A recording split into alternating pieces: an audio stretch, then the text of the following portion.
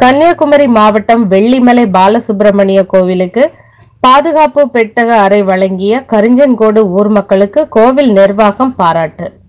கன்னியாகுமரி மாவட்டம் வெள்ளிச்சந்தை அருகே உள்ள வெள்ளிமலை பாலசுப்பிரமணியம் கோவிலுக்கு சுமார் ஒரு லட்சம் மதிப்புள்ள பாதுகாப்பு பெட்டக அறையை இலவசமாக வழங்கியுள்ளனர்.